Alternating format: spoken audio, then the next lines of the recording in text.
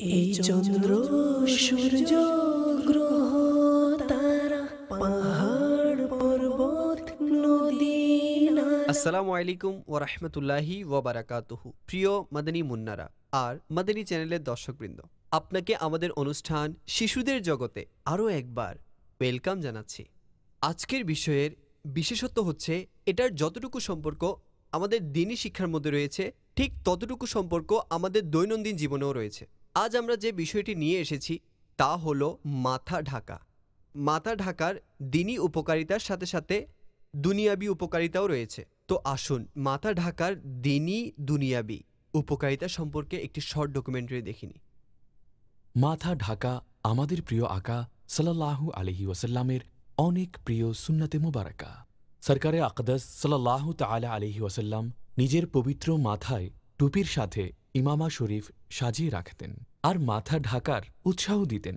আর তার ফলে আমাদের সুন্নতের উপর আমল করার সব অর্জন হবে এবং দুনিয়া এবং আখিরাতের অনেক কল্যাণ অর্জিত হবে। সুন্নতের উপর আমল করাতে যেমন দিনই উপকারিতা রয়েছে, তেমনি অনেক শারীরিক উপকারিতাও রয়েছে। মাথা ঢাকার ফলে মস্তিষ্কে শক্তি বৃদ্ধি এবং স্মৃতিশক্তি বৃদ্ধি পাওয়ার আশ্চর্যকর ফলাফল পাওয়া যায়। মাথা ঢাকাতে স্থায়ী সর্দি থেকে মুক্তি পাওয়া যায়। আর যদি হয়েও যায় তবে এর প্রভাব কম হয়। মাথা ঢাকাতে হিট স্ট্রোক থেকে রক্ষা পাওয়া যায়। মাথা ঢাকলে চেহারা সুন্দর ও আকর্ষণীয় দেখায়। মাথা ঢাকলে চুল নিরাপদ এবং ঝরে পড়া থেকে রক্ষা পাওয়া যায়। সরাসরি রোদের তাপ এবং ঠান্ডার প্রভাবের কারণে কেবল চুল নয়, মুখ ও মাথা পর্যন্ত প্রভাবিত হতে পারে। আর এতে স্বাস্থ্যেরও হানি ঘটতে পারে। মাথা যদি ইমামা শরীফ দিয়ে ঢেকে রাখা হয়, তবে ইমামা শরীফের শিমলা মেরুদণ্ডের মজ্জার উপর থাকলে পূর্বে উল্লেখিত সমস্যা থেকে নিরাপদ থাকা যায়। ইমামা শরীফের শিমলা শরীরের নিম্নাংশের প্যারালাইসিস থেকে রক্ষা করে। ইমামা শরীফের শিমলা মেরুদণ্ডের মজ্জাকে ঠান্ডা, গরম এবং মৌসুমি পরিবর্তন থেকে রক্ষা করে, যার কারণে ইমামা পরিধানকারীদের প্যারালাইসিস হওয়ার ঝুঁকি অনেক কম থাকে। ইমামা শরীফের শিমলা মেরুদণ্ড স্ফীত হওয়া থেকে রক্ষা করে। মোট কথা, এই প্রিয় সুন্নতে অনেক হিকমত লুকায়িত আছে। আর আমরাও যদি এই সব হিকমত এবং উপকারিতা অর্জন করতে চাই, তবে আমাদেরও উচিত